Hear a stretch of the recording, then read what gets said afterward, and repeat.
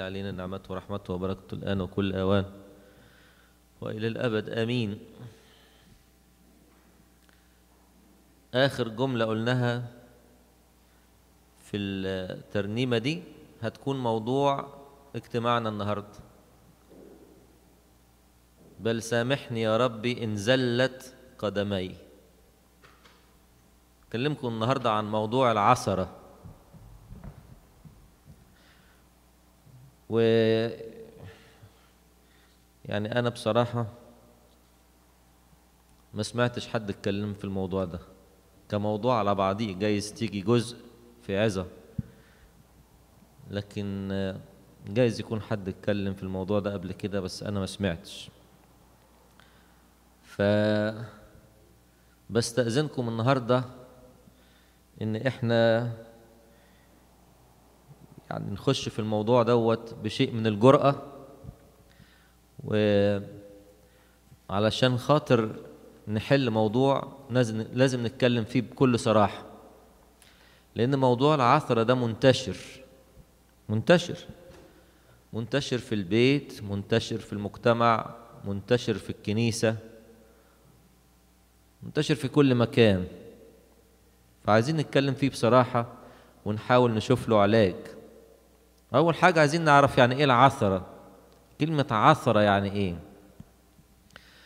كلمة عثرة في اللغة معناها زلة. عشان كده إن زلت قدماي يعني وقع. ما واحد تعثر يعني اتكعبل يعني تشنكل يعني وقع. بالإنجلش نقول to stumble أو to slip أو to trip. وقع.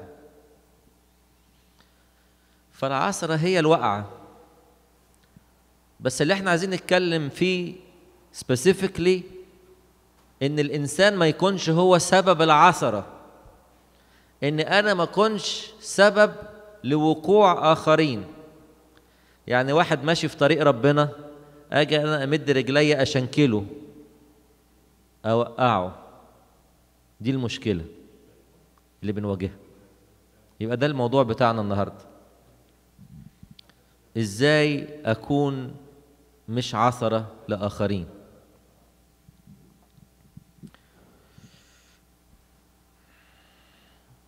أول حاجة بنلاقي إن السيد المسيح اهتم في تعليمه جدا بموضوع العثرة. أقرأ لكم آية موجودة في لوقا 17 واحد واثنين السيد المسيح بيقول لا يمكن إلا أن تأتي العثرات ولكن ويل للذي تأتي بواسطته. خير له لو طوق عنقه بحجر رحى وطرح في البحر من أن يعثر أحد هؤلاء الصغار. لا يمكن إلا أن تأتي العثرات. لأن العثرات لابد أن تأتي. عثرات حوالينا كل يوم.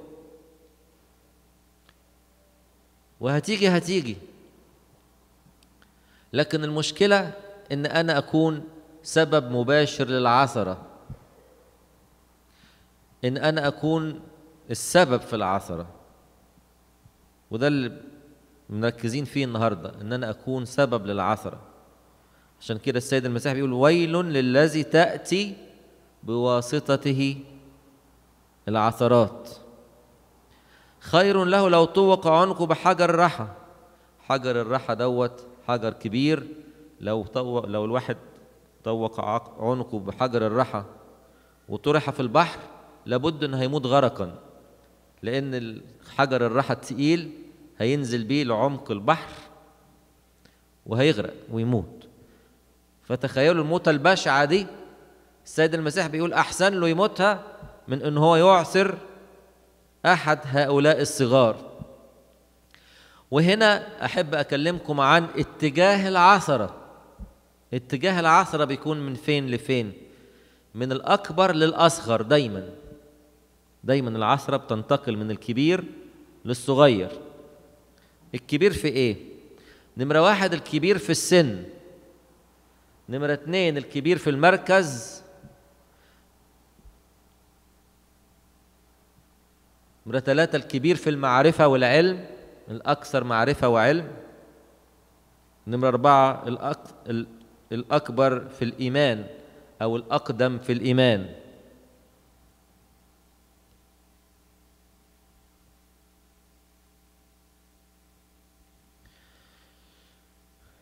يبقى دايما اللي الأكبر سنا مفترض إنه بيعرف أكتر وعنده خبرة أكتر. فيكون عثرة للصغيرين اللي هم بيبصوا له إن هو قدوة.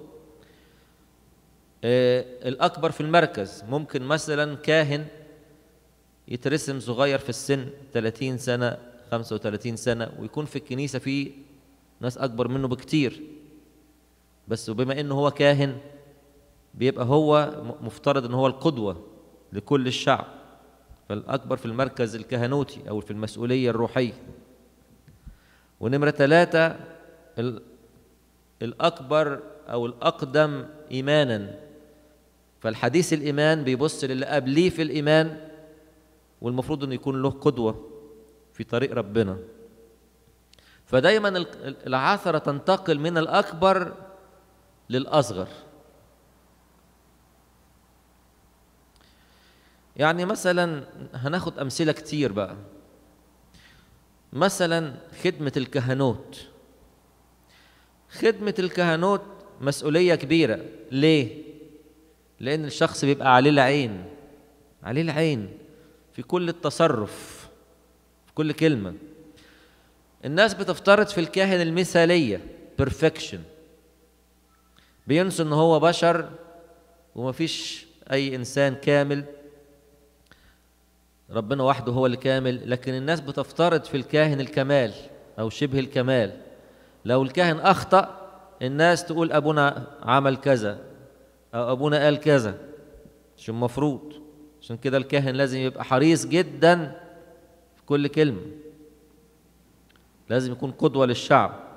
عشان كده القديس بولس الرسول بيكلم تلميذه تيموثاوس بيقول له المفروض إن أنت تكون قدوة رغم إنك أسقف صغير في السن لكن ما تخليش حد يستهين بحداثتك. Let no one despise your youth. صحيح أنت صغير في السن لكن الناس مش بتبص لسنك بتبص لمركزك الكهنوتي. أنت مفروض قدوة للناس. لا يستهن أحد بحداثتك بل كن قدوة للمؤمنين. في إيه؟ ست حاجات في الكلام في التصرف في المحبة في الروح في الإيمان في الطهارة. وبعدين كم آية كده ويكمل. لاحظ نفسك والتعليم. وداوم على ذلك. لأنك إذا فعلت هذا تخلص نفسك والذين يسمعونك. شوفوا بتمشي إزاي. لاحظ نفسك تخلص نفسك. لاحظ التعليم تخلص الذين يسمعونك. تعالوا نفهم الست نقط دول اللي ذكرهم معلمنا بولس. كن قدوة للمؤمنين نمرة واحد في إيه؟ في الكلام. كل كلمة محسوبة عليك يا أبونا وأي من هو في مركز قيادة. وكل ما المركز يكبر كل ما المسؤولية تكبر. يعني تخيلوا مثلا لما ياخدوا حديث من قداسة البابا. ده البابا. فأي كلمة هيقولها قداسة البابا محسوبة. وبعدين كمان بتتصور وبتتذاع في كل العالم وبتتسجل. يقول لك البابا قال. يبقى إذا كن قدوة في الكلام. تحت بند الكلام بالنسبة للأب الكاهن عامة أو الكهنوت عامة الوعظ والتعليم والمشورة بعلم أولادي إيه؟ بقول لهم إيه؟ لازم الكاهن دايما يصلي يقول يا رب إديني حكمة عند افتتاح فمي. خليني أكلم الناس كلامك. ما تخلينيش أقول لهم كلام مش للبنيان. كن قدوة في الكلام. أحيانا الناس يقولوا إحنا هناخد المشورة من الأب الكاهن كأنها من الله. الكتاب بيقول من فم الكاهن تطلب الشريعة. يعني إيه؟ يعني لما أعرف ربنا شريعته إيه؟ وصاياه إيه؟ هروح للأب الكاهن لأن ديت شغله إن هو المفروض ان عارف الوصايا. لكن أحيانا إحنا بنعطي الأباء مسؤولية فوق مسؤوليتهم. وكرامة فوق اللي المفروض تكون وللأسف إن بعض يستغلها بطريقة خاطئة إنه يتدخل في حياة الناس الشخصية ويقول له روح هنا واعمل كذا وتصرف كذا كما لو كان هيلغي تفكيره. لا مش ده دور الكاهن. مش دور الكاهن في حياة الناس. يعلمهم المشورة إزاي تكون يعلمهم إزاي ياخد قرار يعلمهم إزاي ياخد القرار السليم بعد صلاة ومشورة ودراسة. لكن في بعض الآباء وده غلط وأنا أرفض الطريقة دي يخلوا أولادهم أكنهم كده روبوتس شطرنج يحركوا كده يقول له اعمل كذا نفذ كذا. ده كلام مش صح روحيا. ربنا إدى لكل إنسان فينا عقل وقال عن الروح القدس يعلمكم كل شيء. كل واحد فينا المفروض الروح القدس يعلمكم كل شيء. فلازم الكاهن يبقى حكيم في الكلام وقدوة في الكلام وفي الإرشاد وفي المشورة وفي الوعظ وفي التعليم. دي أول حاجة. تاني حاجة يكون قدوة في التصرف. يعني إيه قدوة في التصرف؟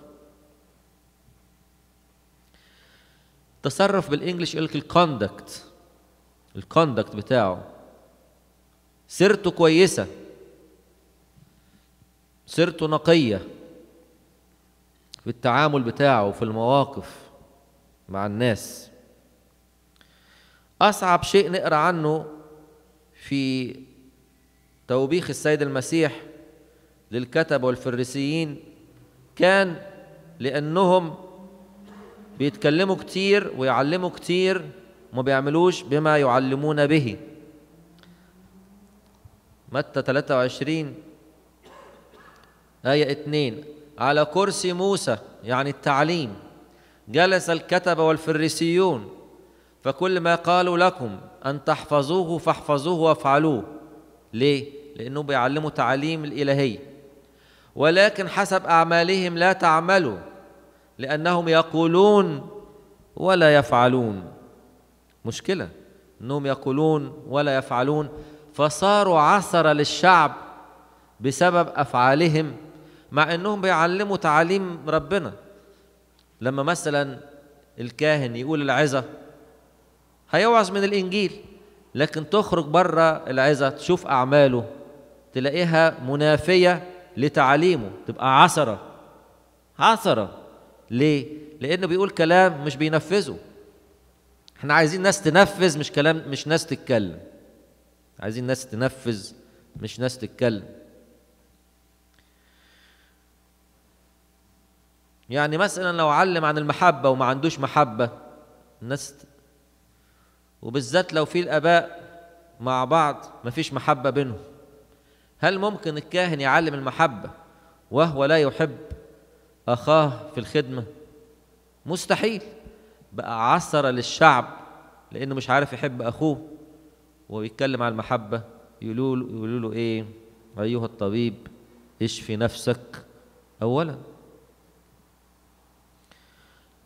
لو واحد بيعلم عن حياة الكفاف لك إن كان لنا قوت وكسوة فلنكتفي بهم. ونلاقي جايب بيت بالشيء الفلاني وبيركب عربية بالشيء الفلاني وعايش حياة, حياة. ناس تقول أبونا ده بيعلم. تعليم غير اللي هو عايش لو شخص متكبر وبيتكلم عن الاتضاع يقولوا له التواضع الأول وبعدين تعالى اتكلم عن الاتضاع. فلازم التعليم والحياة يبقوا مع بعض في انسجام. عشان كده إحنا بنتكلم عن حاجة اسمها أرثوذكسية يعني التعليم السليم وأرثوبراكسية يعني الحياة السليمة. والمفروض أو المفترض إن الأرثوذكسية والأرثوبراكسية بيمشوا مع بعض hand in hand ما ينفعش نفصلهم وإلا تبقى عثرة. هي دي العثرة بعينها. بقول كلام لكن الناس شايفة غير كده. تخيلوا مثلا واحد أمين خدمة أو شماس أو مسؤول في الكنيسة في اي درجة. وبيروح يشرب وبيروح أماكن لا تليق وبيروح يعمل parties لا تليق وعنده girlfriend وماشي غلط. و... ودلوقتي الفيسبوك فضايح. مش بس إن هو عايش غلط لكن كل حاجة يحطها على الفيسبوك. ناس أحيانا يقولوا لي شوف الخادم الفلان أو الخادمة الفلانة بص لابس إزاي ولا رايح فين ولا بيعمل إيه. وخادم ومسؤول. اسمه خادم ومسؤول. لكن عثرة عثرة ليه؟ لأنه هو اسمه خادم ويوم الحد الناس بتشوفه ملاك. قرب يصعد من كتر القداسة. وفي حياته الخاصة حاجة تانية. الناس تشوف كده وتشوف كده تقول إزاي؟ الاتنين دولت مش ماشيين مع بعض. بقى عثرة. عشان كده واحد زي القديس الأنبا أنطونيوس اللي كانت حياته ماشية مع تعليمه كان لتعليمه قوة. ليه؟ واحد قال له يكفيني النظر إلى وجهك يا أبي. أنا مش محتاج منك تتكلم. أنا مجرد أتعلم من صمتك. ببص في وجهك وهذا يكفيني. أما ببص في وجهك بتعلم من غير حتى ما تقول حاجة. ولما راح يدافع عن الإيمان السليم قال حاجة واحدة. إيمان أثناسيوس هو الإيمان السليم. والناس شافت القديس العظيم الأنبا أنطونيوس بيدافع عن الإيمان الذي ينادي به القديس أثناسيوس. سابوا الأريوسية وانضموا إلى فريق الأنبا أثناسيوس. ليه؟ القديس بيتكلم مش محتاج إن هو يتكلم كتير لأن حياته تسنده والمعجزات التي يجريها الله على يديه تسنده. أما الإنسان اللي حياته بعيدة عن ربنا وبيتكلم عن ربنا يكون عثرة. يبقى تكون قدوة نمرة واحد في إيه؟ في الكلام. ونمرة اتنين في التصرف. نمرة ثلاثة في المحبة. سمة المسيحي هي المحبة. لو الإنسان ما عندهوش محبة يبقى فقد أهم صفة في المسيح. بهذا يعرف الجميع أنكم تلاميذي إن كان لكم محبة بعضكم لبعض. والمحبة هي ثمر الروح القدس. يعني في الكنيسة لازم إن أي حد يخش الكنيسة يشعر إن ده مكان اسمه مكان المحبة. المحبة بين الناس بعضيها بعض بين الخدام من الآباء الكهنة. وسط الشعب تشعر بالمحبة في المكان. والسماء هي مكان المحبة. أو مكان الحياة في محبة. لما تتعامل مع واحد متوقع منه المحبة كمسيحي ولا تجد فيه المحبة يكون سبب عثر رابع حاجة في الروح أي في السلوك الروحي وليس في السلوك الجسداني. إن الإنسان المسيحي المفترض أن هو يسلك بالروح ولا يكمل شهوة الجسد.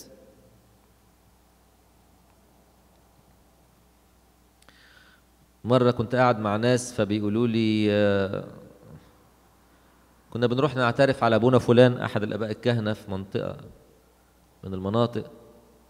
فيقول لي كنت أروح أقعد مع أبونا الكاهن ده ألاقيه في الاعتراف بيبكي. أقول له طب بتبكي ليه يا أبونا؟ قال أصل أنت بتفكرني بفترة شبابي لما كنت زيك وكنت بمر بنفس الأتعاب دي. كاهن أب كاهن روحاني حاسس بأولاده. مش واحد يجي يعترف يجري من الأوضة يقول حرمت عمري ما أخش الأوضة دي تاني. ليه؟ يتعبه يتعب نفسيته يشعره بأنه إنسان مفيش فايدة فيه. كاهن تاني لطيف روحاني. تلاقي عنده كده الاعتراف مش ملاحق. ليه؟ لأن الواحد يخش يطلع فرحان. حاسس المسيح قبله حاسس المسيح غفر له. نمرة خمسة في الإيمان. عندنا في الأول قدوة في الكلام في التصرف في المحبة في الروح. نمرة خمسة في الإيمان. الإيمان هو حياة بيحياها الإنسان مع ربنا. من المفترض إن الشخص القديم في الإيمان يبقى أقوى في الإيمان. ليه؟ بقى في خبرة مع ربنا. غير لما واحد لسه داخل حديث في الإيمان عايز يبص الناس عندها إيمان قوي فيقدروا يقووه. تخيلوا بقى لو القائد على أي مستوى ضعيف الإيمان وقت الاضطهاد كانوا كانوا التارجت هو الأسقف اولا. فلما يجوا للأسقف والأسقف لو أنكر الإيمان يبقى إيه؟ يبقى. الباقيين هيعملوا إيه؟ طبعا يقولوا إذا كان الأسقف أنكر يبقى إحنا كمان ننكر. أو القائد لو اهتز تتبدد الرعي اضرب الراعي تتبدد الرعي فلازم الإنسان يكون قدوة في الإيمان. إحنا خدوا بالكم إن هو بيكلم أسقف هنا بس إحنا ممكن ناخدها في كل مستوى. الأب والأم في بيتهم قدوة للإيمان بالنسبة لأولادهم. هيسلموا لهم الإيمان. لو هم ضعفاء في الإيمان يمروا بمشكلة أو بضيقة تلاقيهم اهتزوا وفقدوا إيمانهم. يبقى بيسلموا أولادهم إيه؟ هم بيسلموهم الإيمان. لازم يبقوا قدوة ليهم في الإيمان. آخر حاجة قدوة في الطهارة. إحنا عايزين ناس يبقوا قدوة في الطهارة. يعلموا الصغيرين حياة الطهارة وحياة القداسة. طهارة الفكر. وطهارة القلب وطهارة الحواس ونقاوة الأعمال ونقاوة المشاعر. حياة الطهارة كن قدوة في الطهارة. دي ست مجالات ذكرها معلمنا بولس بالنسبة للقديس تيموساوس. تعالوا نراجعهم. كن قدوة في إيه؟ في الكلام التصرف في المحبة في الروح في الإيمان. وفي الطهارة. لو واحد خالف حاجة من دي هيبقى عثرة. وبيكمل يقول لاحظ نفسك والتعليم. نفسك اولا. يمكن ذكرت لكم قبل كده كل ما أركب الطيارة أفتكر الحتة ديت. تلاقوا في المقدمة قبل ما الطيارة بتطير فبيدوا ال instructions يعني. يقول لك شد pressure في ال cabin يختل هتنزل ال masks. حط ال mask بتاعك اولا وبعدين ساعد الطفل اللي جنبك. مش كده؟ الصغير ده اللي هو صغير في الإيمان مثلا لو لاقاش إن أنت حطيت ال mask وعندك الأكسجين الروحي بيغذيك أنت اولا مش هتقدر تساعد اللي جنبك. واحد يقول إيه لو أنا سألتك السؤال ده بالإنتويشن أقول لك تحط الماسك لنفسك الأول ولا للطفل اللي جنبك؟ تقول لا الطفل طبعا هو محتاج. يقول لك لا. ساعد نفسك الأول وبعد كده ساعد التانيين لأنك لو ما ساعدتش نفسك جايز ما تلحقش. لا تنقذ نفسك ولا تنقذ ده. ففي الحياة الروحية هكذا. أنت اهتم لاحظ نفسك. اولا لاحظ نفسك. لما تلاحظ نفسك تخلص نفسك وبعدين والتعليم لاحظ التعليم. تخلص الذين يسمعونك. لكن مهما قلت وأنا مش بلاحظ نفسي وحياتي هعلم إيه؟ مش هينفع. نحن في زمن نفتقر فيه إلى القدوة الصالحة القدوة الروحية على كل المستويات. وأقول هذا اسفا. إحنا عايزين قادة عايزين قادة. ساعات أحيانا أقول للآباء الكهنة يا أبونا احضر مع أولادك العشية. لسه قايل لهم في اجتماع الكهنة من كام يوم. احضر مع أولادك العشية والتسبحة. فهيتشجعوا لما يلاقوك أنت مهتم بالتسبحة. لكن أبونا فين في التسبحة؟ مش موجود. حتى لو بياخد اعترافات. لكن أنا عايز أبونا يبقى موجود في التسبحة. هيشجع التسبحة. كل خدمة يهتم بيها الكاهن ويكون قدوة. ناس تشوف أبونا. عايزين يشوفوا أبونا. معاهم. مش مجرد بيقول لهم احضروا التسبحه لا هو بنفسه بيحضر التسبحه فزي ما بيعلم بيعمل. الكنيسة تضعف لما يكون هناك عثرة بدل من القدوة القوية والقدوة السليمة والقدوة المعتدلة المودريت. لأن في تطرف من نوع آخر هنتكلم عنه فيما بعد وهو التطرف اليميني التشدد أو العنف. ده برضو عثرة نوع آخر من العثرة هو العثرة في البيت. مهما الكنيسة علمت أولادها في الآخر هيرجعوا البيت ويشوفوا الأب والأم بيعملوا إيه. مرة واحد أخد أولاد ابنه ونزله الكنيسة دخل يحضر القداس ومدارس الأحد. فمدرسة مدارس الأحد بتقول له أنت ولد ممتاز لما تكبر هتبقى قائد كتير وخادم خادم كبير في الكنيسة. قال لها لا أنا لما هكبر مش هاجي الكنيسة. فاستغربت. قالت له ليه؟ قال لها عشان بابا بيجيبني الكنيسة ينزلني ويجي في الآخر ياخدني. فمهما نتعلم ومهما شايف آباء في الكنيسة ده مش همه. همه إيه؟ أنا لما أكبر هبقى زي بابا. البيت لازم يسند تعاليم الكنيسة. لو الكنيسة بتقول حاجة وفي الكني... وفي البيت يقولوا حاجة مثلا نقول في صيام البيت يقول لك لا حرام صغير. لما يكبر خلاص تكون إيه؟ تكون النتيجة إيه؟ أو لو أب بيقول حاجة والام بتقول عكسها هيبقى برضه في مش ماشيين مع بعض. عثرة الأب والأم هيشوفوا ال- الأولاد هيشوفوا الأب والأم بيعملوا إيه؟ أب بيدخن مثلا. هل يقدر يقول لابنه ما تدخنش؟ مستحيل. يقول له طب ما تبطل انت الأول. أو أب وأم بيشربوا. هل يقدروا يقولوا لأولادهم ما تشربوش؟ يقولوا طب ما أنتوا تبطلوا.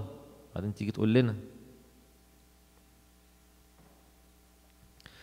وللأسف خلوني أقول لكم عشان بس أريح ضميري أمام الله. إن أحيانا الأب والأم يقولوا يعملوها قدامنا أحسن ما يعملوها من بره. إيه هي اللي يعملوها قدامنا؟ نجيب لهم الحاجات اللي بيشربوها ويقعدوا يشربوا قدامنا.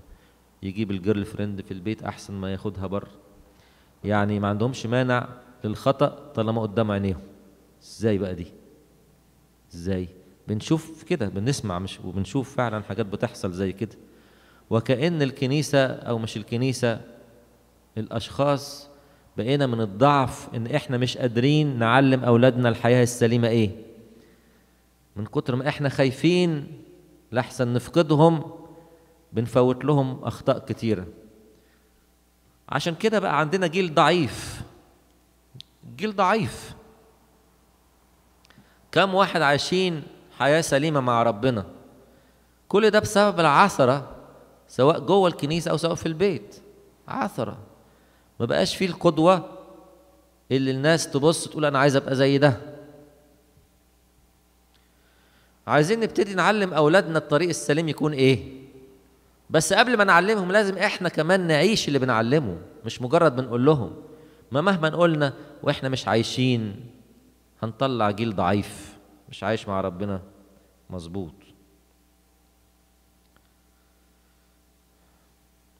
ولذلك تلاقوا دلوقتي تفشت حاجات صعبة قوي زي ال drugs drugs وسط أولادنا.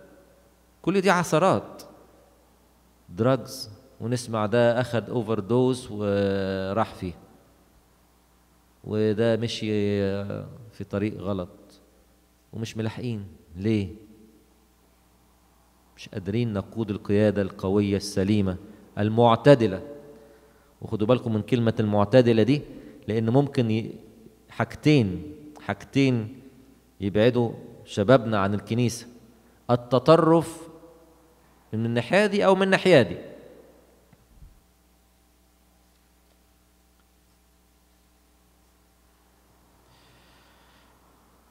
وكتير من الأحيان لما الأب أو الأم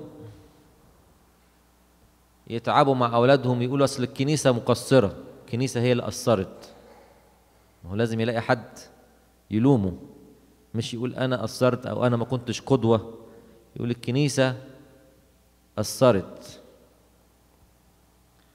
إحنا عايزين إحنا نعمل عملنا وكل واحد فينا يعمل عمله مع بعض نشتغل مع بعض من أجل أولادنا لئلا نعسرهم لكن لازم كل واحد يعترف بتقصيره.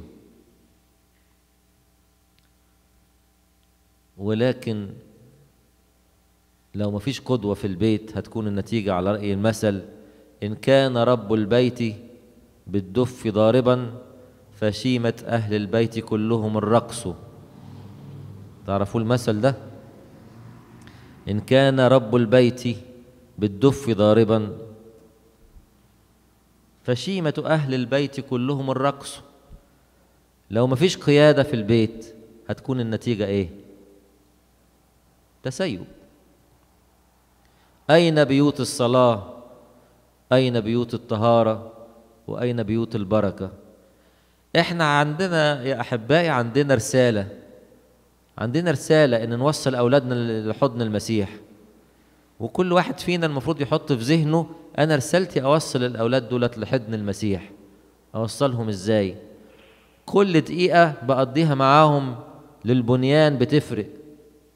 وكل دقيقة بقضيها معاهم للعصرة برضو هتفرق.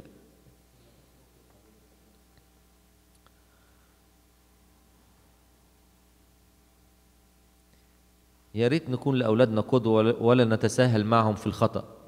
نعرفهم طريق ربنا صح. ده طريق ربنا يا أولاد. مهما كان صعب بس هو ده طريق ربنا. ما نتكسفش لما نعرف الأولاد طريق ربنا. في العهد القديم لما علي الكاهن ما كانش بيعرف أولاده طريق ربنا اتخذت عليه إن هو مقصر معهم وكان كاهن. العنف هو عثرة من نوع آخر. يعني في تطرف اسمه التسيب خالص. فيش قدوة فيش قيادة. وفي نوع عثرة عكسها بقى من الناحية التانية اسمه التطرف والعنف والتزمت والتشبث. بطريقة برضو فيها تطرف.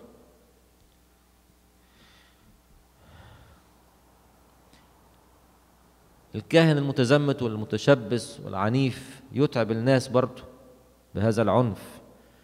الأب أو الزوج في البيت أو الأم أو الزوجة برضو ممكن يتعبوا أولادهم أو الطرف الآخر بالتشدد الزائد. الاعتدال دايما هو المطلوب لكن العنف والتطرف ده عثرة.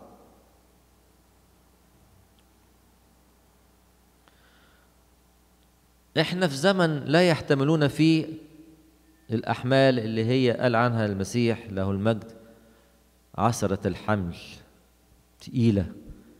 ما نحملش أولادنا أحمالا عثرة الحمل ولا نحركها نحن بأصبعنا.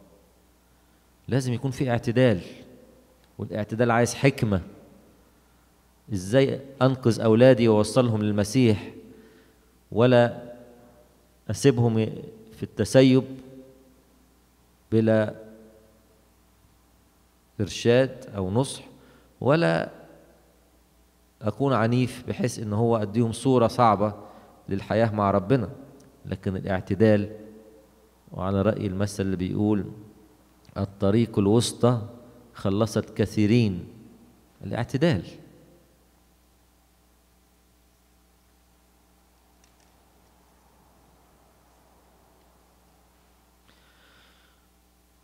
برضو بلاحظ إن في عنف أحيانا مع الخدام. الخادم العنيف اللي هو بيستغل سلطته في إتعاب الآخرين. إحنا عندنا مشكلة كمصريين يعني. تدي الواحد سلطة يستخدمها أسوأ استعمال. مثلا واحد تقول له يحافظ على النظام تلاقيه يزعق ويشخط و... لا ليه يا حبيبي؟ إحنا يهمنا النظام والنظام مطلوب لكن قبل النظام يكون في محبة. عشان أعلم النظام أعلم المحبة. وأعلم النظام مش بال... مش بالعنف أعلم النظام بالمحبة. مرة واحدة ناس اشتكوني من زوجة كاهن. عارفين كانت تعمل إيه؟ هي عايزة تعلم البنات يلبسوا الشرب يعني. وده تعليم كويس في الكنيسة كده نظامنا في الكنيسة إن في الكنيسة بنغطي الرأس. راح ماسكة هي الإشارب وحطها كده هو بطريقة عنيفة. تزعق وتشخط وتكشر البنت شابة ما تحتملش. خرجت تعيط وممكن ما تجيش الكنيسة تاني. هو ده الطريقة اللي بنعلم بيها. دي طريقة نعلم بيها. ده المسيح يرضى بكده. ده يقال عن أبونا ميخائيل إبراهيم وكان إنسان حساس جدا.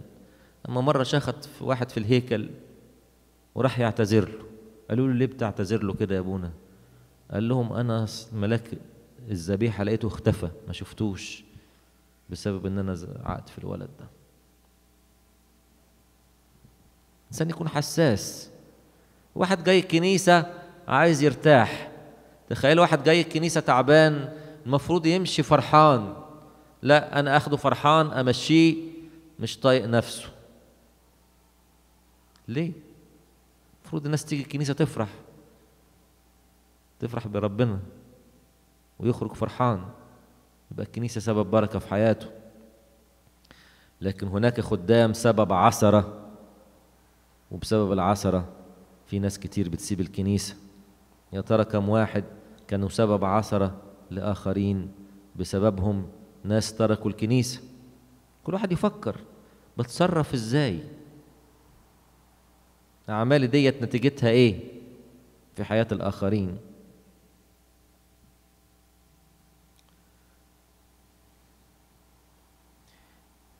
يبقى الاتنين عصرة التسيب عصرة والعنف عصرة إحنا عايزين حاجة الاعتدال في الحياة الروحية وفي القيادة الروحية. نقطة تانية. نقطة تانية في العصرة في الكنيسة بالذات هي الخاصة. الخاصة يعني إيه؟ يعني الشلة اللي حوالين المسؤول على أي مستوى. زمان مثلا كانوا يقولوا الحاشية بتاعة البطرك يعني الناس اللي حواليه. وأحيانا ممكن الحاشية دي تكون واحد بس. أيام البابا يساب قبل البابا كرولوس كان حواليه واحد اسمه ملك. ملك ده أقنعه إن الناس عايزة تسممه وتموته. والبابا كان كبر في السن. وهو كان يثق في ملك وصدقه. ففصلوا عن الناس وبقى ملك هو اللي بيحرك كل شيء. بقى عثرة. عثرة. ليه؟ لأن بقى واحد أو مجموعة قريبين من الشخص والباقيين بعيد. عشان كده في التعهد اللي بيقوله الكاهن ولا يكون لي منهم جماعة مختارة. لازم المسؤول يحب الكل. لأن لو في جماعة مختارة يكونوا عثرة للباقيين. وغالبا المجموعة اللي هم بيكونوا حواليه هم اللي بيطيعوه بيريحوه بيقولوا له حاضر وأمين وبيكون طباعهم من طبعه. وإحنا عندنا في الكنيسة المفروض يبقى في التنوع. في التنوع. كل واحد له خدمة وكل واحد له مسؤولية والتنوع دوت جيد للخدمة. لكن لما يكون الشخص عنده خاصة بتكون عثرة للناس. بالذات لو هؤلاء الخاصة استغلوا نفوذهم أو قربهم من المسؤول علشان يتعبوا الآخرين بأي صورة. يكونوا عثرة أنا قلت لكم في الأول استأذنتكم إن إحنا نتكلم بصراحة مش كده؟ ف عشان نحل دايما نتكلم بصراحة. دي حاجات بتحصل.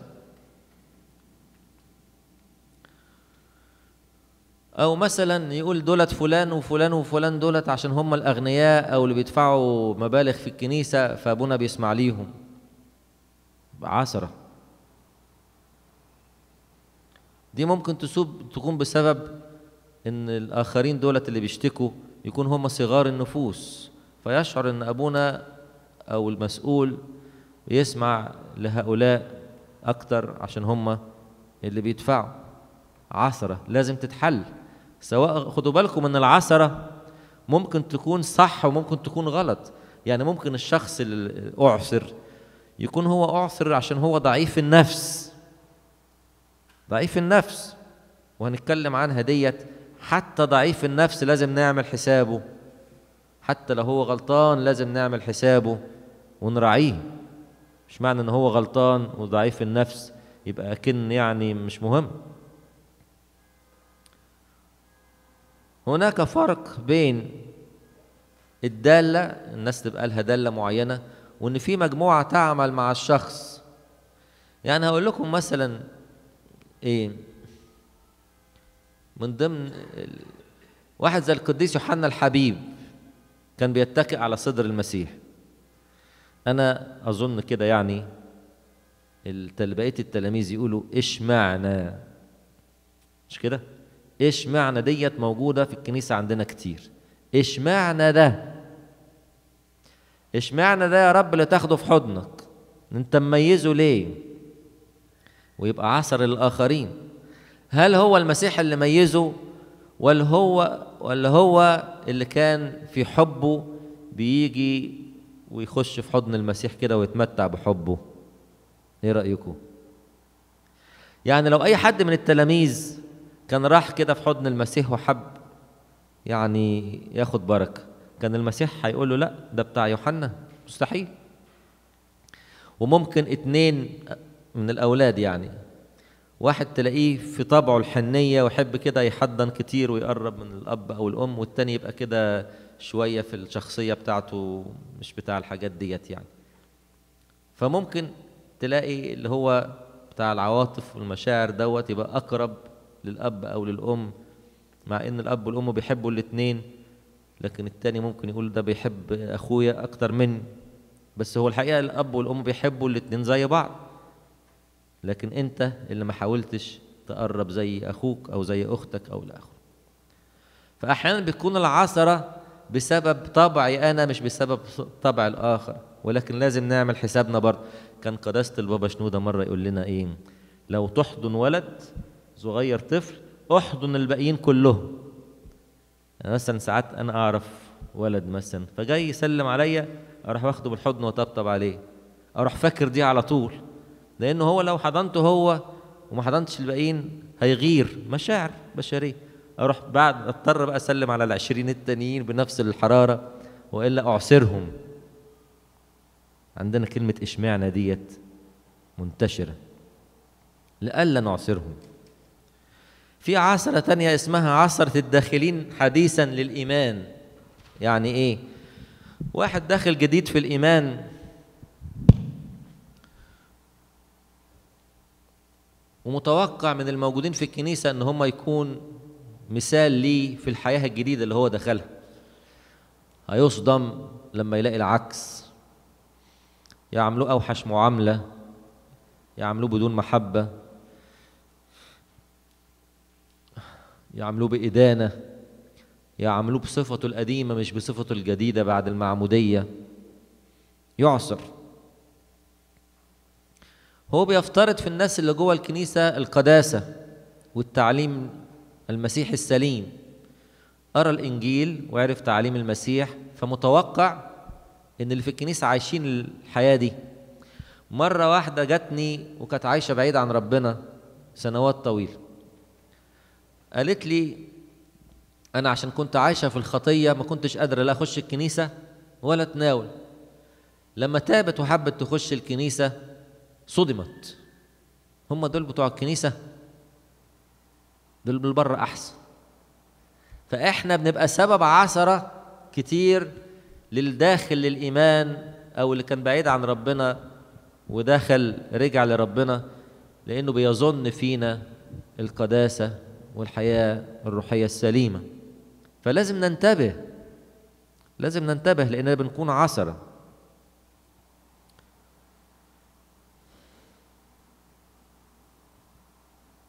نوع آخر من العثرة هو عثرة غير المؤمنين.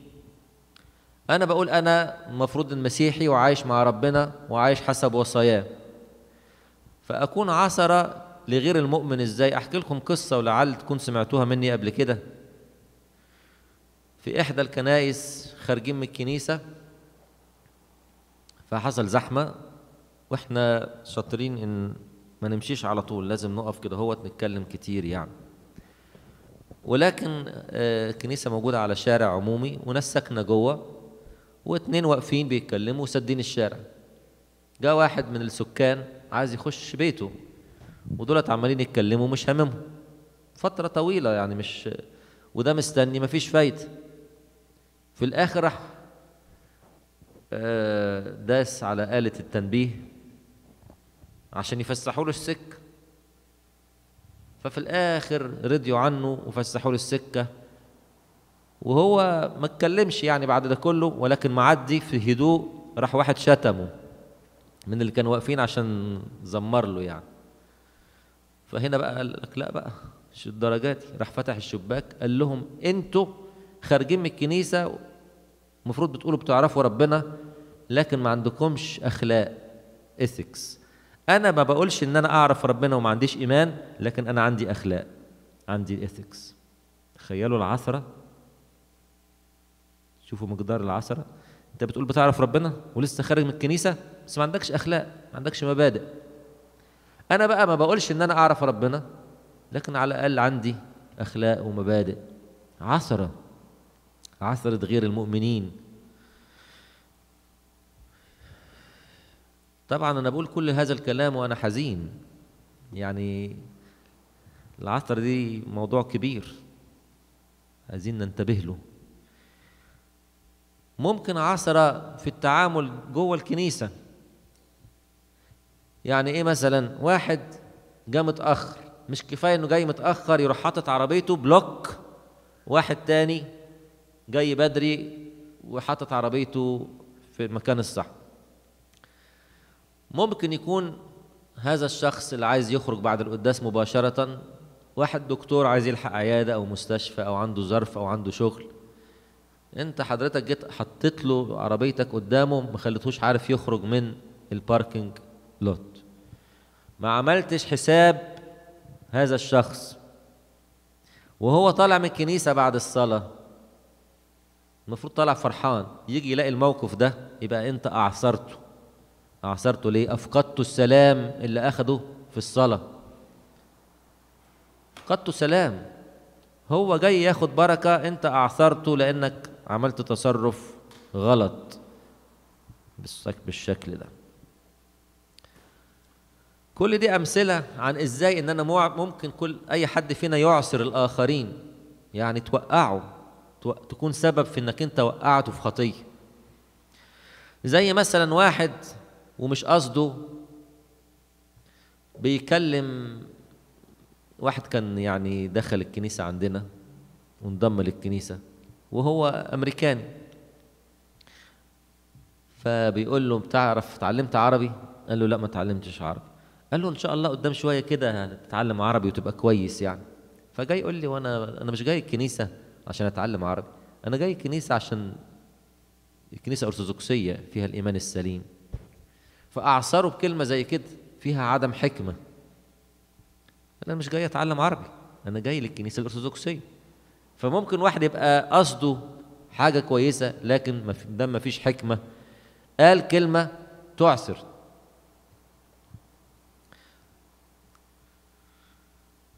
زي ما مثلا كاهن يحب اللغة القبطية ويحب يصلي بالقبطي ويطول في الألحان أو الشماس يقول لحن طويل والناس زهقت من طول اللحن وخلاص بقى عايزين يجروا بره الكنيسة وهو مبسوط إنه بيقول اللحن لوحده ولا حد مشترك معاه عصرة ليه تعصر الناس؟ الناس جاية تصلي مش جاية تاخد خطية. لما تقول تطول في حاجة هم مش هيشتركوا فيها. عثرة وأنا قلت للآباء الكهنة في الاجتماع اللي فات ده ممنوع حد يصلي أكتر من قطعة واحدة بالقبط يوم الحد ممنوع أنا بعلن دلوقتي على الهوا يعني في ناس بتتصل ممنوع أي كاهن عندي في نيويورك وفي نيو إنجلاند يصلي أكتر من قطعة واحدة في القداس بالقبطي ليه؟ عايزين نحافظ على اللغة ونعلم الناس مع الوقت. لكن افضل أصلي مثلا نص القداس بالقبطي والناس مش فاهمة. الصلاة ديت عشان الناس تصلي مش عشان أنا بحب القبطي مثلا أقعد أصلي بالقبطي ولا حتى العربي إحنا عايزين برضو عشان نحافظ على أولادنا نزود الإنجليش. ممكن حد يعترض على الكلام ده لكن هو ده النظام. عثرة كل ده يعسر الناس. أنا هقول لكم أنا حصل معايا موقف. أنا لعلكم تفتكروا في الأول حضروني في الأول يعني. كنت أطول في القداس وأفتكر إن الناس بتتمتع بالقداس الطويل. كنا نخرج مش قبل واحدة أو اتنين يوم الحد وأنا بزور الكنيسة مرة كل سنة. يعني أنا مش معاهم على طول. مرة واحد بعت لي جواب وقال لي إحنا بنحبك وبنحب نحضر معاك القداس لكن أنت بتطول قوي مرة في في السنة وتعب وأعسر عشان القداس طول. أنا قلت إذا كنت دوت أعسر. طب ليه نعسر الناس؟ الناس جاية حتى لو واحد لأن نعسرهم. لألا نعسرهم هتشوفوا جاية دلوقتي حتة لألا نعسرهم دي. العثرة دي يا إخواتي لازم ننتبه ليها. كل شيء ممكن يكون سبب عثرة. لو قدرنا نتجنبه إن أمكن يبقى أفضل.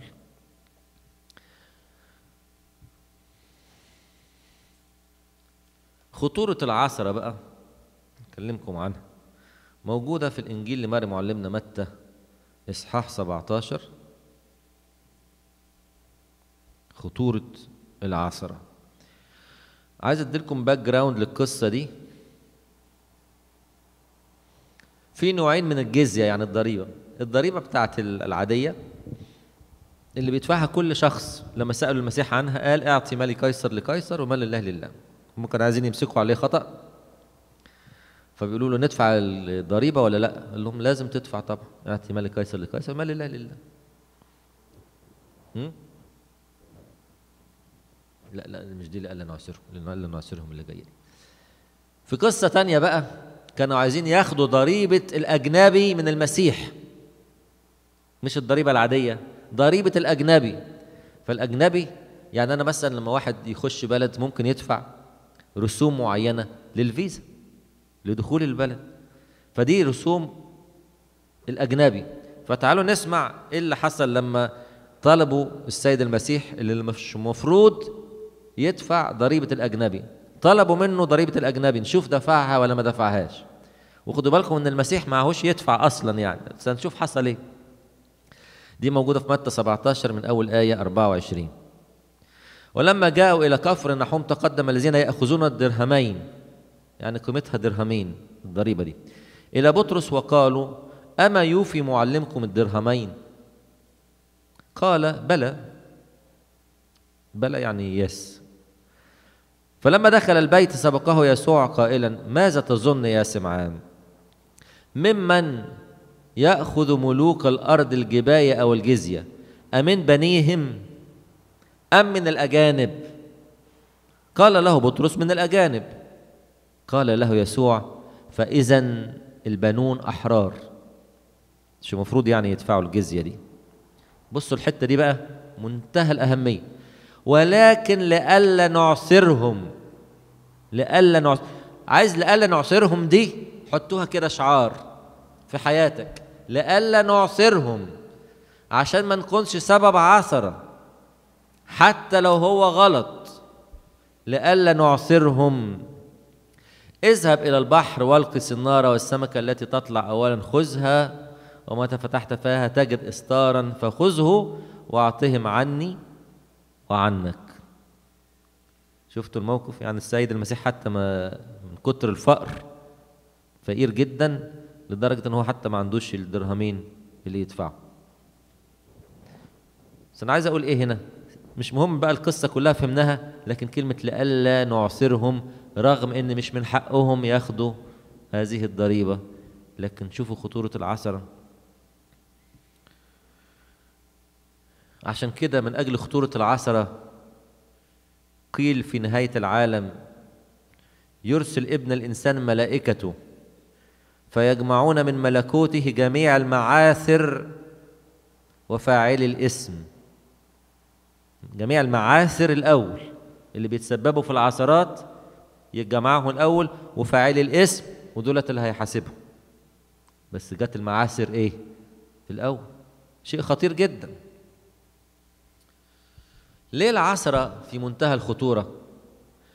افرض واحد سبب عثرة وبعدين قرر يتوب. قرر يتوب. إزاي هيتوب اللي اعثرهم هيدور عليهم إزاي ويجيبهم منين ويتوبهم إزاي. افرض واحد مدمن أي شيء وأعثر أصدقائه إنه وقعهم في الإدمان وهو قرر يتوب وقدر إنه يتوب. طب اللي أعثرهم دولت هيلاقيهم فين وهيتوبهم إزاي وهيتوبوا ولا لأ؟ شيء خطير. علشان كده لازم الإنسان ينتبه جدا لخطورة العثرة.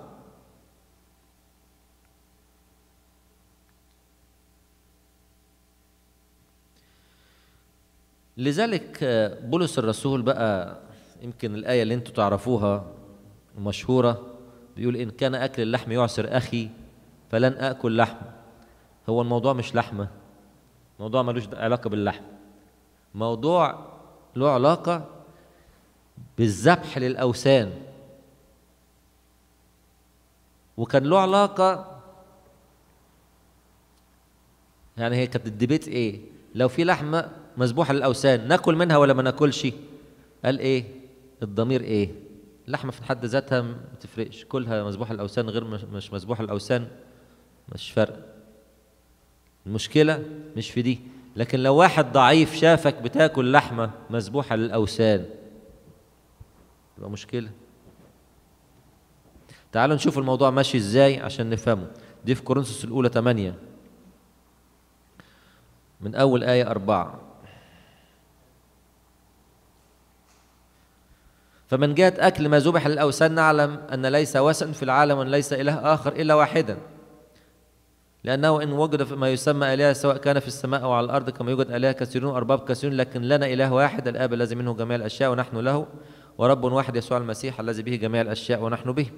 ولكن ليس العلم في الجميع بل أناس بالضمير نحو الوثن إلى الآن يأكلون كأنه مما ذبح لوثن. فضميرهم هو إذا فضميرهم إذ هو ضعيف يتنجس الضمير. هو ضعيف يعني يقول لك ده مذبوح للأوثان ينفع ناكل منه هو مذبوح للأوثان.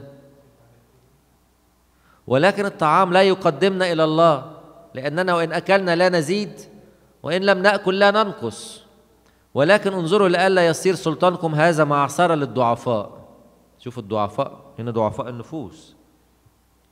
يبقى برضو العصرة تنتقل من الأقوى إلى الأضعف. لأنه إن رآك أحد يمن له علم متكئا في هيكل وثن أفلا يتقوى ضميره إذ هو ضعيف حتى يأكل مما ذبح للأوثان؟ شفت بقى المشكلة فين؟ مش المشكلة في الأكل لكن لو هو شافك أنت وهو ضعيف وقاعد في المكان دوت مش هيعصر فيهلك بسبب علمك الأخ الضعيف الذي مات المسيح من أجله. وهكذا إذ تخطئون إلى الإخوة وتجر وتجرحون ضميرهم الضعيف تخطئون إلى المسيح. لذلك حتى بقى اللي هي الآية المعروفة إن كان طعام يعثر أخي فلن آكل لحما إلى الأبد لئلا أعثر أخي. برضو نفس الكلمة السيد المسيح قالها لئلا نعثرهم قالها بولس الرسول لئلا أعثر أخي.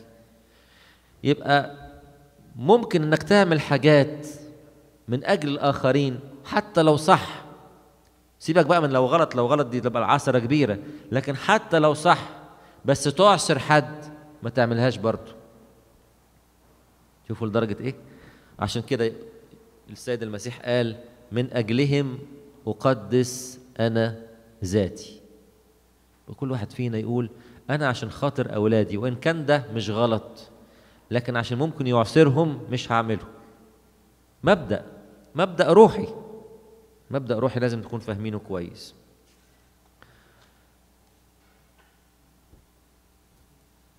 ناقص نقطتين عشان نختم بيهم الموضوع. طولنا قوي.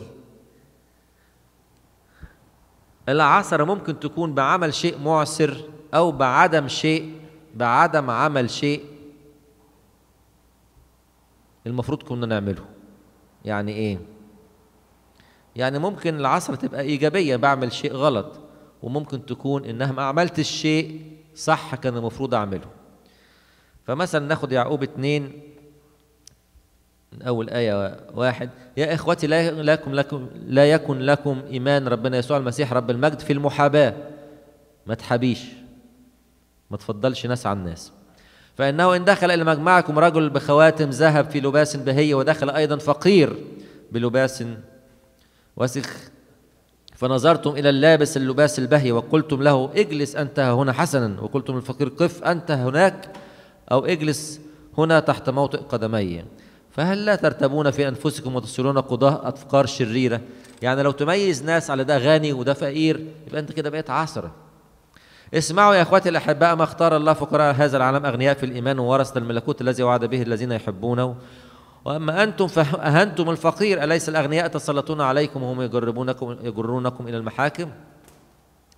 أم هم يجدفون على الاسم الحسن الذي به عليكم إلى اخره وبعدين يجي بقى في آية 14 بعد ما المنفعة يا إخوتي؟ إن قال أحد إن له إيمان ولكن ليس له أعمال هل يقدر الإيمان أن يخلصه؟ إن كان أخ وأخت عريانين ومعتزين للقوت اليوم فقال لهم أحدكم امضي بسلام استدفئ واشبع ولكن لم تعطوهما حاجات الجسد فما المنفعة؟ يبقى هنا عصرت إيه؟ عصرت إن كان في طاقة يدي أعمل خير في واحد وما عملتهوش. يعني مثلا ممكن واحد ينتقدني دلوقتي. يقول انت عمال تصرف كل ده هوت في كنايس وتزين الكنايس وتشتري وتبني وتعمل وسايب المحتاجين. عثرة. لا إحنا عايزين كده وكده. ما نتركش المحتاج. طبعا نبني بيوت ربنا لأن دي أماكن الخدمة ونزينها بأفضل شيء لأن ده بيت ربنا. ولكن نهتم بالمحتاج. عشان كده إحنا ان شاء الله هنعمل center مركز للخدمة الاجتماعية في تضهل بنعمة ربنا. يبقى في center بحاله مركز للخدمة الاجتماعية وأي حد محتاج يقدر يتقدم ونقدر نساعده. ما نقدرش آخر حاجة في موضوع العثرة آخر حاجة في موضوع العثرة العثرة أحيانا تكون بسبب ضعف داخلي في الشخص. مش بس من بره. يعني العثرة غالبا بتيجي من بره. لكن هي دليل ضعف داخلي برضه في الإنسان نفسه. عشان كده السيد المسيح لما تطرق لمسألة النظر إلى امرأة أو النظر إلى شيء معسر ما قالش العثرة. كانوا يبعتوا لقداسة البابا شنودة يقولوا له ملابس السيدات في الكنيسة مثلا يعني. طبعا ملابس السيدات في الكنيسة لازم تكون بكل الحشمة. فيهاش كلام. بيت ربنا ينبغي له كل الاحترام في الملابس وفي كل شيء. ولكن المشكلة كان ي... لما يكتبوا لقداسة البابا يقولوا له يعني نبه على السيدات من جهة الملابس. يقول له وأنت بتبص ليه؟ أنت إيه اللي يخليك تبص؟ أنت مالكش دعوة تتغمض عينيك. عشان كده مكتوب في الإنجيل لمريم معلمنا متى خمسة؟ آية تسعة وعشرين وثلاثين فإن كانت عينك اليمنى تعسرك فاقلعها والقها عنك لأنك خير لك أن يهلك أحد أعضائك من أن يلقي جسدك كله في الجهنم. وإن كانت يدك اليمنى تعسرك فاقطعها والقها عنك لأنه خير لك أن تهلك أحد أعضائك ولا يلقي جسدك كله في جهنم. يبقى العثرة ما كانتش خارجا عني. خدوا بالكم بس الكلام ده مش معناه إن كل واحد يل... لا. كنيسة لها كل الاحترام في الملابس والحشمة زي العذراء كده من العذراء المثل بتاعنا. لكن لازم الشخص يعرف إن هو ده ضعفه الشخصي في عينه. أنا أشوف حاجة اغمض عيني. أنا مالي؟ أنا مالي؟ خليني في حالي. ده المبدأ. أنا مالي؟ كل واحد خليه في حاله. لكش دعوة. ده مش مسؤوليتي. ده مسؤولية الأب الكاهن ينبه الناس. لا ده ملابس لا تليق بالكنيسة يا بنتي. لا أحسن تبقى الحشمة مطلوبة وعلموا أولادكم برضو كده. لكن كل واحد مسؤول عن عينيه مسؤول عن حواسه يقفل عينيه يقفل ودانه مسؤول عن نفسه. إن كانت عينك تعصرك فاقلعها. إحنا النهارده فتحنا موضوع و يعني للحديث بقية. ربنا يعطينا إن إحنا ما نكونش سبب عثر ربنا يعطينا إن إحنا نكون سبب بركة لآخرين. ننتبه دايما إن نكون مش سبب عثرة على أي مستوى. لإلهنا كل المجد إلى الأبد. آمين.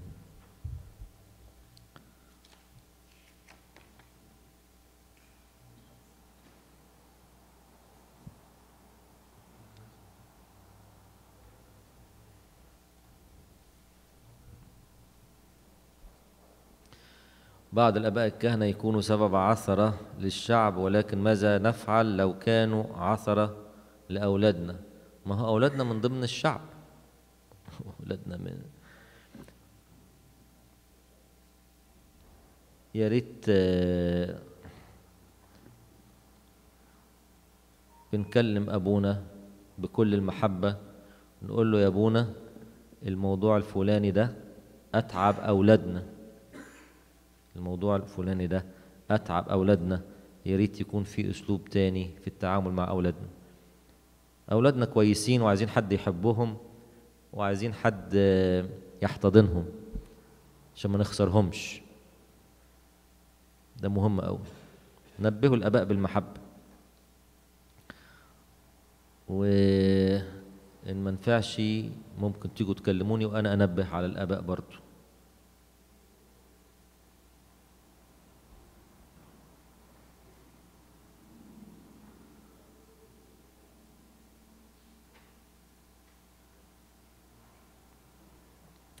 بيقول كنت مواظبة على الاعتراف لفترة طويلة ولكن أولا سب- سبت لأن كل قصة أحكيها لأب اعترافي أسمعها من أصحابي أو في الميكروفون في الوعظ.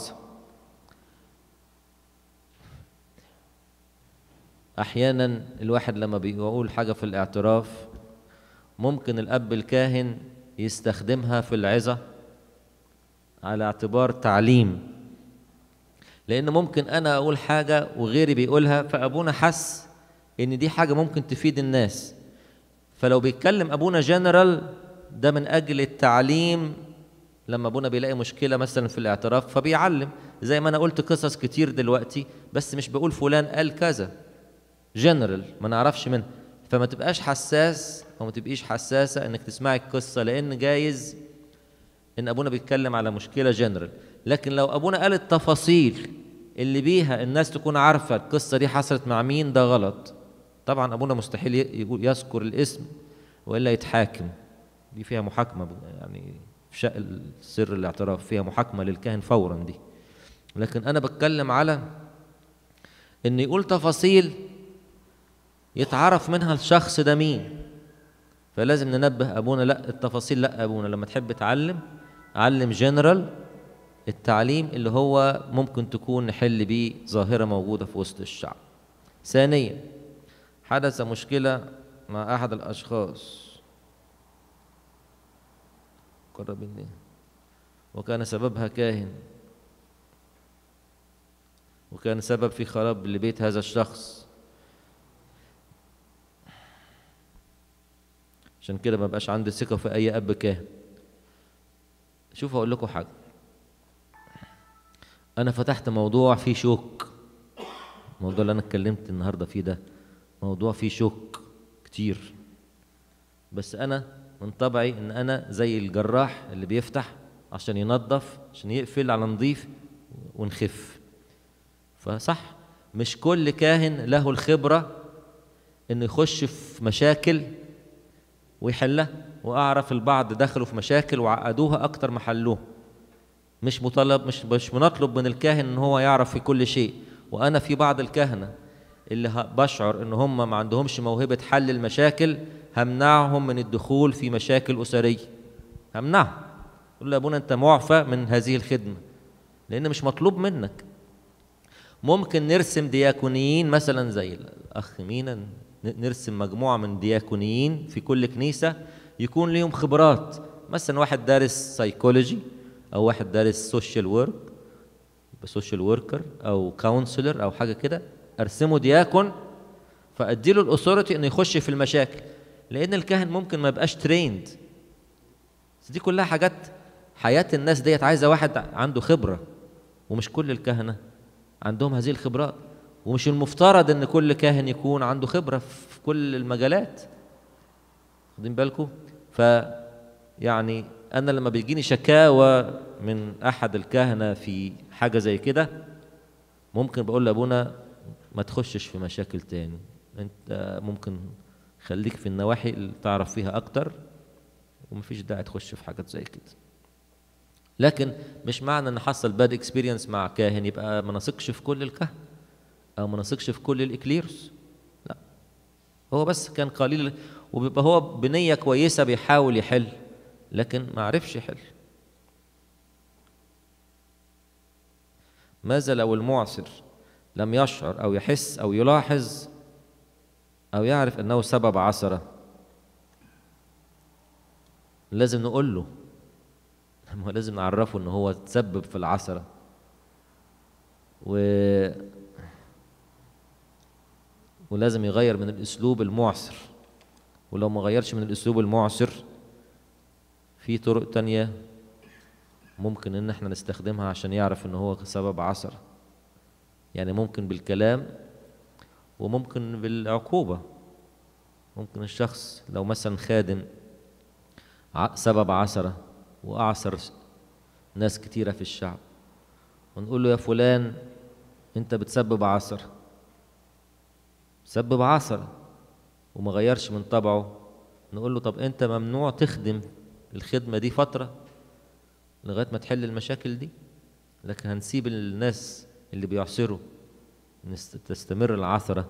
يبقى إحنا بنخسر ناس عشان أنقذ واحد أو أراعي مشاعره. هفقد عشرات. يبقى إيه الحكمة من كده؟ مش كده؟ يبقى أنا هزعل واحد مؤقتا بس هنقذ عشرات. وده أعرفه إزاي يعالج هذا الأمر؟ نشكر نيافتكم على هذا الموضوع القيم جدا. موضوع فيه مشاكل.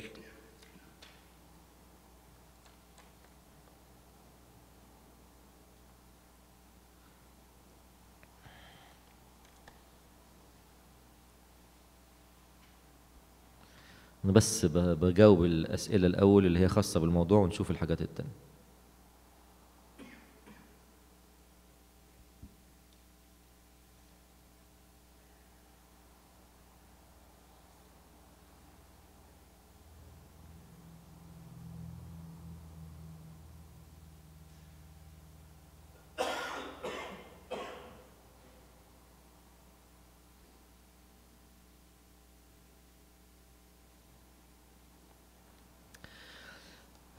أي مثلا من ضمن العثرة اللي ممكن تكون. يقول إيه؟ مكتوب في الكتاب المقدس ما أخذته أعطوا من غير مقابل. هي طبعا الآية مش كده بالظبط. الآية بتقول مجانا أخذتم مجانا أعطوا. ماشي. ليه بقى الآباء الكهنة عاملين تسعيرة الفرح بكذا المعمودية بكذا العزاء بكذا؟ هو شوفوا الحقيقة إيه؟ حكاية التسعيرة دي إحنا لسه متناقشين فيها في اجتماع الكهنة يوم الثلاث اللي فات. وإحنا قلنا إن إحنا هنخلي الناس هم اللي يقترحوا التبرع اللي عايزين يقدموه للكنيسة وكل واحد بإرادته يتبرع. هو بيبقى فيه إيه؟ الكنيسة لما بتتفتح بيبقى فيه مصاريف هيت بيبقى فيه مصاريف كهرباء مصاريف تنظيف إلى آخره. ففي مصاريف. فهو المفروض الشخص من نفسه حسب ما ربنا اداله يعطي عطية في المناسبة اللي هو فرحان بيه أنا أحسن واحد راح واحد راح يتجوز مثلا هيصرف كام؟ تصرفه قد إيه في الإكليل؟ ما بين الشبكة وال مش عارف الشاور إيه وال والب... والاحتفال اللي بعد كده إيه؟ بتخش في عشرات الآلاف مش كده؟ فنيجي عند الكنيسة نقول الكنيسة إزاي تتفتح ب 200 دولار؟ يعني هي جت بعد المصاريف دي كلها ونزعل على ادي ادي بحب. فإحنا لغينا التسعير ولكن خليناها إن كل واحد يدي على قد ما ربنا اداله يدي بالمحبة ويدي وهو مسرور. بس إحنا بنقول التكاليف بتبقى كده تقريبا وأنت ادي اللي تديه. ده اللي اتفقنا عليه مع اجتماعك أخذت منا مناقشة طويلة الموضوع ده. فإحنا حلينا لكم الموضوع ده عشان ما تعصروش. أنا بحاول أحللكم العثرات قبل ما أنتوا تسألوا فيها بنحلها لكم أهو.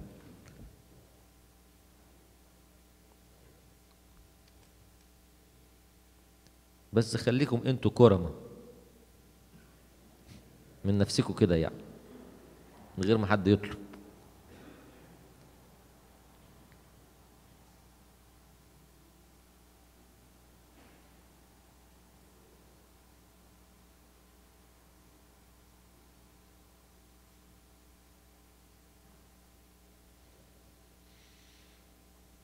مش عارف أقرأ الورقة دي إيه دي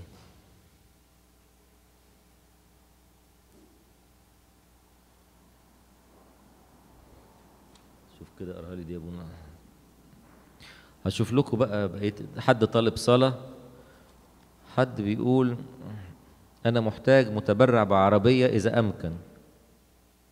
لو حد عنده عربية مش بيستعملها ويحب يتبرع بيها ممكن بناخدها نديها للشخص المحتاج وبنديله عليها بتمنها إنه عمل donation بقيمة العربية. يعني ياخد عليها donation إن هو قدم donation بقيمة العربية بتتسعر وياخد عليها donation فممكن نديها لصاحب السؤال ده. ممكن يكون في اتنين قداس في الكنيسة. في وقت واحد يعني قداس بالعربي وقداس بالإنجليزي بندرس هذا الموضوع وممكن طبعا يكون قداسين في نفس الوقت. واحد بالعربي واحد بالإنجليزي وممكن نستخدم تحت في القداس من الاثنين آه.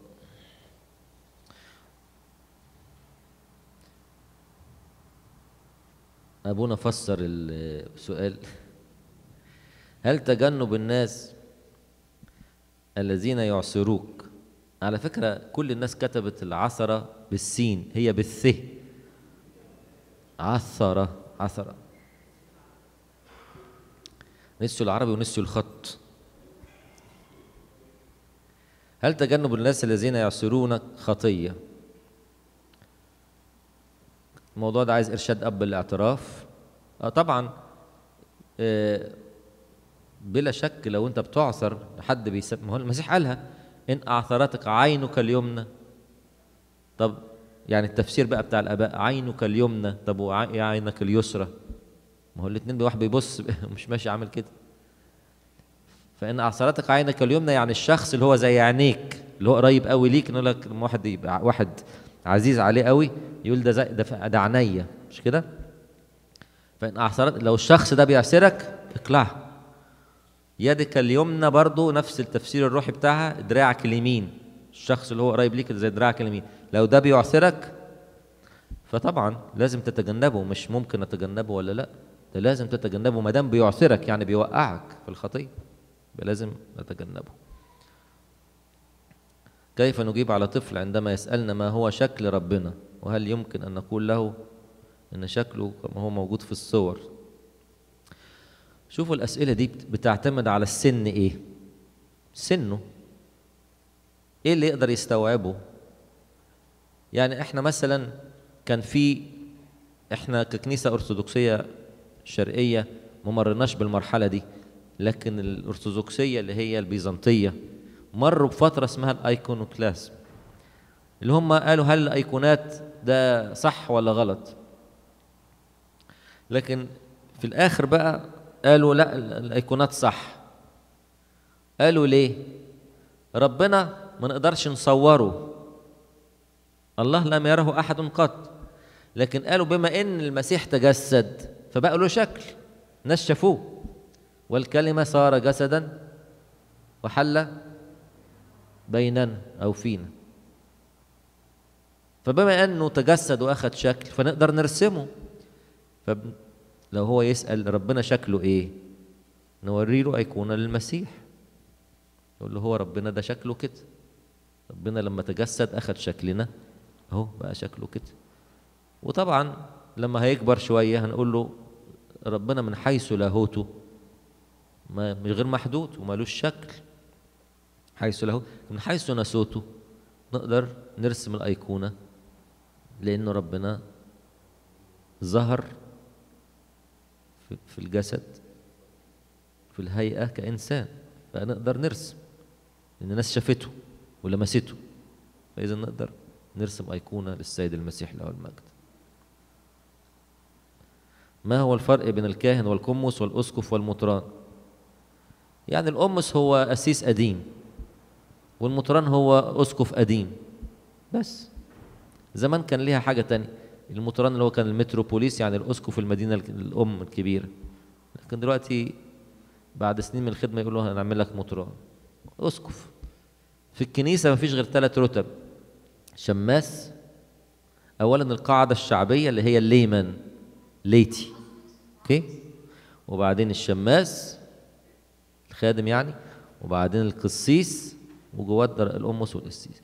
وبعدين الأسقف ومنها البطرك والا والمطران والأسقف. درجة واحدة. بس تفرق الكلمة من حيث الرتبة الإدارية أو الأقدمية أو حاجة من هذا القبيل. لكن كل أسقف قسيس شماس. أدي الرتب الموجودة. ربنا معاكم إحنا عندنا نص ساعة للتسبيحة نخلص إن شاء الله تسعة ونص زي ما أنا بعت لكم نصلي التسبيحة على قد ما نقدر لمدة النص ساعة اللي باقية وبعد كده آه انزل معاكم تحت. وإحنا لسه آه بنتقبل عطاياكم لأجل آه، المكان الجديد في تود هيل ونشكر ربنا ماشي كويس خالص. واللي بيحب يقدم تبرع أو يقدم آه، لون أو يقدم مساهمة شهرية كل ده موجود معانا. ونقابلكم تحت. ربنا يبارك حياتكم ويعوضكم. تفضلوا نصلي